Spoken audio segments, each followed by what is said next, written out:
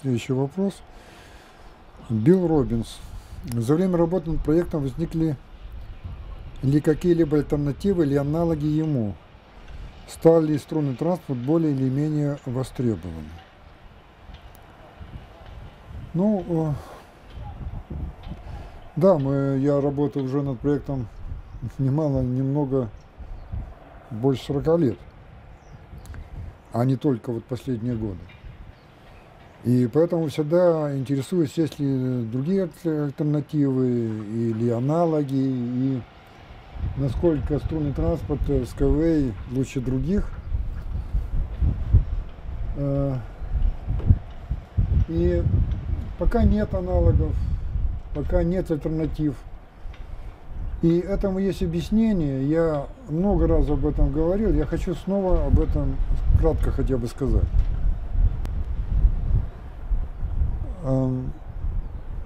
Стольный транспорт не приснился мне во сне. Или я не прочитал где-то там книжки какой-то. И сказал, о, давайте сделаем. Давайте что-то там немножко изменим в железной дороге или в автомобильном транспорте, и получится новый транспорт. Нет. Я э, э, пришел к этому еще, когда был студентом. Я в Тюмени учился на инженера путей сообщения. И когда видя недостатки транспорта, понимая, какие проблемы существующего транспорта, э, экологические проблемы, в первую очередь, создает э, транспорт на планете, я сам себе сказал, а можно ли создать идеальный транспорт, лучший транспорт? Не что-то улучшить в существующих видах транспорта, а создать другой вид транспорта. И я сказал, я попробую. И сам себе сказал – я не знаю поэтому ни одного вида транспорта, чтобы не брать оттуда ничего. Я знаю только физику, законы физики. Потому что мы живем в реальном мире, где всем управляет физика, в том числе и гравитация. Это же один из законов физики. Где, допустим, есть э, атмосфера плотная на планете Земля, которая создает аэродинамическое сопротивление. Так это опять же физика. Не было бы гравитации, не было бы, наверное, атмосферы. И не была бы на такой плотности, как сейчас она есть на Земле, если бы масса Земли была другой. Да? Это все тоже, опять же, физические э, законы э, управляют э, нашим миром и тем миром, в котором мы живем, и где надо, для которого надо делать транспорт в соответствии с этими законами. И когда я стал анализировать, а как вот создать э, этот транспорт – то я опять же с точки зрения физики стал рассматривать. Ну, вот я учусь в Тюмени, а столица нашей Родины – город Москва. Ну, СССР имеется в виду. И что произойдет с точки зрения физики, если я из э, Тюмени каким-то образом э, доеду до Москвы? Неважно чем, на велосипеде, на мотоцикле, на поезде, на автомобиле, на самолете, на ракете, на антигравитационном корабле. Неважно чем. Что произойдет с точки зрения физики. И я сделал такие очень важные выводы с этой простой, ну, от этой простой мысли. Я нахожусь в Тюмени на высоте порядка 100 метров над уровнем моря. Доберусь до э, Москвы и буду опять на высоте э, над уровнем моря порядка 100 метров. Значит, моя потенциальная энергия не изменилась. Я имел нулевую скорость относительно поверхности Земли в Тюмени, и когда доберусь э, до Москвы, я опять буду иметь нулевую скорость относительно поверхности Земли. Значит, моя кинетическая энергия, как груза, не изменилась. И тогда, с точки зрения физики, полезная транспортная работа, полезная равна нулю, потому что мое энергетическое состояние не изменилось. Тогда я задал себе тогда вопрос, а чему равна, э, равен КПД тогда наземного транспорта? А чему равен КПД? Если э, мы возьмем это, э, полезную работу, равно нулю, разделим на Е затраченную энергию, 0 на Е получается 0. Значит, КПД любой наземной транспортной системы равен нулю. Я понял, что нечего совершенствовать в существующем транспорте, потому что КПД его равен нулю. Тогда задал следующий вопрос. Ну, ноль нельзя усовершенствовать. А тогда куда уходит вся энергия? Я сделал тоже очень важный вывод.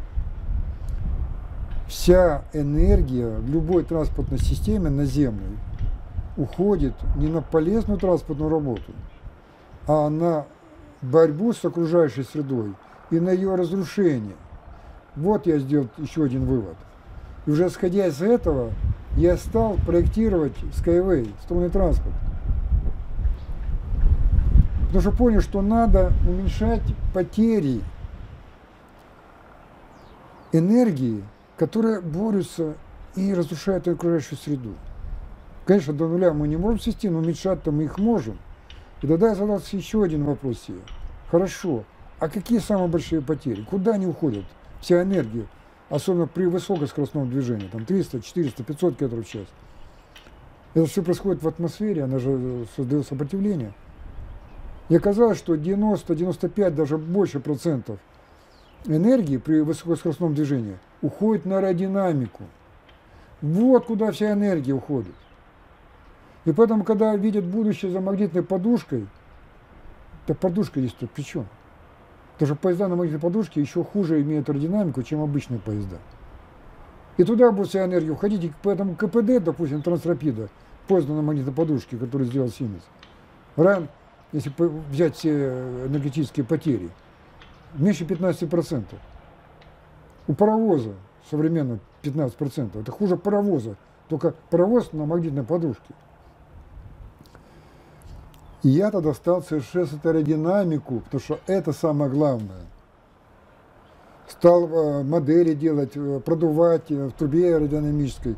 Понял, ну, у меня образное мышление, я представил себе частичкой воздуха и как я обтекаю юнибус, потому что это не аэродинамика, это скорее антиаэродинамика. Это же не самолет, который держится на воздухе за счет напрягающего потока. Надо проскользнуть, прошмыгнуть через воздух и чтобы минимально было сопротивление. Значит, надо обтечь так, чтобы не было ну, минимум сопротивления. А здесь надо сход спереди и сзади, должна поверхность S-образно быть корпуса. Поэтому я и придумал такую форму, она не каплеобразная, это другая форма. Она, и, кстати, в живой природе это реализовано. Посмотрите на хвост рыбы, посмотрите на хвост птицы. Там же вот именно это реализовано, принцип. Да? И лучше всего, когда этот же сход есть и спереди, но живая природа, она все-таки э, по другому сторону, чем техника. А, поэтому спереди у того же рыбы рот и жабры и так далее, там нельзя такой сход сделать, да? Поэтому она несимметрична. А мы можем сделать в воскресном юнибусе и такой же вот и нос, и хвост. И симметрично сделать. И потом уже я стал продувать, на трубе аэродинамической.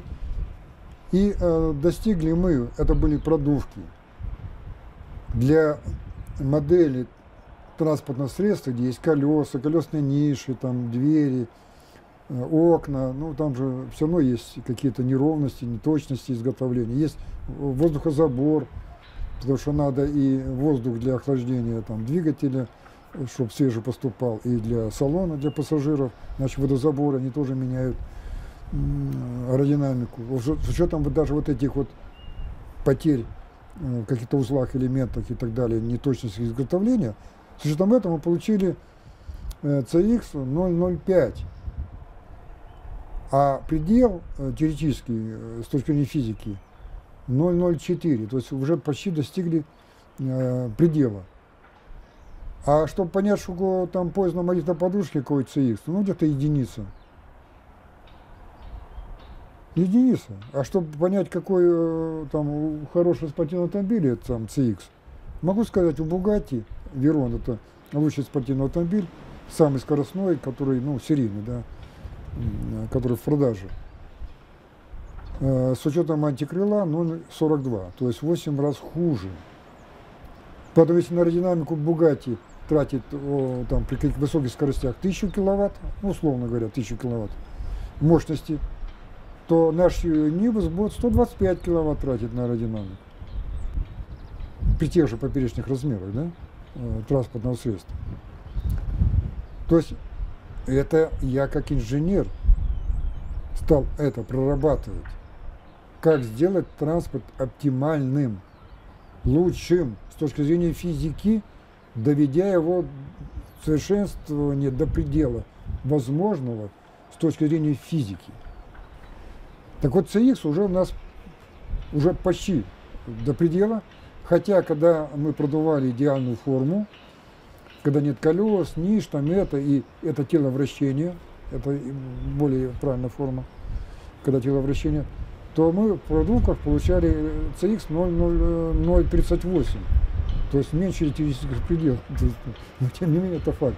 Так, 0,038, это уже предел. Значит, могу сказать, что никакой другой транспорт не будет иметь э, альтернативный аналог, не будет лучших характеристик. Я достиг предела. А там об этом даже не думают и не говорят об этом. Они не заморачиваются даже аэродинамикой, хотя это самое главное. Аэродинамика заморачиваются только авиаторы, там, вертолетчики, ракетчики, да, подводники, где подводная лодка, ну, там гидродинамика, но все равно законы те же самые, те же законы физики, да. А другие говорят, да, что такое аэродинамика, так, ерунда. Ну какая же ерунда, если взять автомобиль легковой, это обычный автомобиль не Toyota, там, не Ford, не важно какой. И вот мы едем на автомобиле со скоростью 100 км в час. Ну, обычно для автомобиля скорость. И тратим, допустим, на это там 20 киловатт мощности. Ну, не так уж много, 20 киловатт. Это где-то 5 килограмм топлива в час. Тоже немного. А теперь давайте возьмем, мысленно разгоним этот автомобиль до скорости 500 км в час. 500 км в час, то есть в 5 раз скорость больше. Так вот, в формуле мощности аэродинамического сопротивления, где там есть плотность воздуха, CX, мидель, площадь поперечного сечения, и есть скорость, только единственная, единственная характеристика, скорость, стоит в кубе, v в кубе, в кубе. Так если мы в пятую скорость увеличили, значит надо 5 умножить на 5 умножить на 5, значит мощность сопротивления выросла в 125 раз. Значит уже надо не 20 киловатт, а 125 раз больше. 2500 киловатт. А что такое 2500 киловатт? Это 5 танковых двигателей мощность. А это всего лишь легковой автомобиль. Вот что такое аэродинамика. Как можно этим пренебрегать? А поздак на магнитной подушке, вот, допустим, ну, той модели, как приняли, э, принял Siemens, где э, обычные магниты, они могут только притягиваться, поэтому для того, чтобы подвесить вагон относительно полотна, относительно балки, надо юбку завести под балку и поставить магнит сюда, чтобы ну, приподнять, да? И потом магниты поставить с боков, чтобы не коснуться. А потом еще сверху, чтобы не упасть. Еще и шасси сделать сверху потому что на малых скоростях магнитная подушка э, плохо работает, и надо иметь шины, э, которые потом убираются при достижении определенных скоростей, как шасси у самолета. Вот такая система, что просто подвесить относительно балки. При этом получается паразитная юбка. В юнибусе же нет этой юбки. И очень маленький зазор 10 миллиметров, куда с большой скоростью засасывается воздух. И это создает дополнительное аэродинамическое сопротивление. Поэтому, ну, никогда, никогда поезда на магнитной подушке не будут иметь такие э, хорошие характеристики, как высокоскоростной юнибус. Из-за того плохой аэродинамики. А именно туда вся уходит энергия при движении скоростном, а не на магнитную подушку. И более того, я, э, понимая это, я и дальше совершенствовал аэродинамику. Каким образом? Если мы, э, транспортное средство движется над полотном, а полотно это асфальт, бетон, это вон, поверхность земли, это поверхность воды, неважно. Это некая поверхность. Если транспортное средство движется на малой высоте, то несимметричное обтекание воздуха, здесь внизу возникает турбулентность и сзади турбулентность, и это создает дополнительное сопротивление, и, естественно, на это тратится энергия и, и, и мощность э, привода. Так вот, если взять э, предмет и поднять его, его на высоту, ну, транспортное средство, на его размер примерно, то аэродинамика из-за того, что эффект экрана пропадает, улучшается в два с половиной раза. Поэтому, если опять же на какое-то транспортное средство, там, неважно, Бугатти или там поезд на магнитной подушке, условно говоря, потом тратится 1000 киловатт мощности, а это, чтобы понимать, 250 килограмм топлива в час вот, расходуется. Из-за того, что вот есть эффект экрана, если мы убираем экран, то уже надо в 2,5 раза меньше мощность, это 400 э, э, киловатт. И уже там 250 килограмм топлива, а здесь уже 100 килограмм топлива в час. Экономия 150 килограмм топлива в час на одну машину. А если эта машина, она же общественная, это общественный транспорт, будет работать 20 часов. Значит, 3 тонны в сутки. А за год это больше тысячи тонн. А за 20 лет срок службы это больше 20 тысяч тонн. А что 20 тысяч тонн топлива? Это э, получается 400 вагонов, 400 э, цистерн по 50 тонн. Ну, это считайте там, я не знаю, 20 поездов, где по 20 цистерн с топливом. Это всего лишь одна машина столько сэкономила за срок службы, потому что мы убрали эффект экрана. И скажите, другие системы, вот есть аналогичные? Кто-то об этом вам когда-нибудь говорил? Вот то, что я сказал. Поэтому я не боюсь конкурентов, не боюсь аналогов и в светлом будущем. Потому что я знаю, что я придумал, изобрел, сконструировал идеальный транспорт, который не будет улучшен и в будущем. Принципиально не будет улучшен. Надо только чуть-чуть улучшать. Все. Ну, до самого предела доходить. Там, КП, там уменьшать, допустим, потери аэродинамической, там, приближаться к пределу, там, там другие какие-то характеристики. Так вот, я сказал, что где-то 90-95% энергии и больше тратится на аэродинамику, а вот оставшиеся 5-10% это уже тратится на систему подвешивания относительно полотна или относительно там, рельса, там, э, то есть несущей э, конструкции. Я тоже анализировал разные варианты, и воздушная подушка, и магнитная подушка, э, и э, там поле электрическое, антигравитация. Ну, много чего я прорабатывал. И оказалось, что все это плохо и работает, и большие энергетические затраты. И самое эффективное здесь остальное колесо по стальному рельсу. Поэтому я не просто случайно взял остальное колесо. Нет, это самое эффективное решение. До скоростей, ну, порядка там 1200-1500 км в час. Дальше уже да. Дальше уже колесо не сможет обеспечить движение, в том числе сцепление нужно э, с рельсом, и поэтому надо переходить уже на другие системы подвешивания, в том числе на магнитную подушку. А вот до таких скоростей колесо – это самое эффективное решение. Поэтому я взял стальное колесо, но не железнодорожное колесо, и опять же его усовершенствовал. И э, наше колесо, скайвейвское колесо, имеет меньше сопротивления качению, чем междорожное колесо. Потому что, в том числе, потому что у нас нет колесной пары, у нас нет конусов, э, на колесах нет наклонных рельсов, и опорная часть э, у рельса не э, э, поверхность, имеющая радиус, то есть это часть цилиндра, а плоскость, где качение э, колеса по плоскости, э, цилиндрического колеса, э, более эффективно, с меньшими потерями энергии, с меньшими износами, с меньшими шумами и так далее. Поэтому, опять же, здесь ну, предел, то есть в своих решениях я достиг предела. Ну, нельзя исключить полностью потери.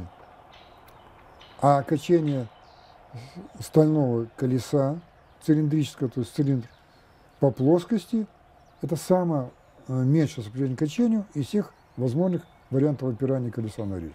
Это опять же физика. Поэтому я не боюсь, что кто-то что-то там опять усовершенствует. Если он совершенствует, так он придет к такому же решению, как и Мина. Поэтому не боюсь я аналогов, не боюсь конкурентов. Мы самые лучшие.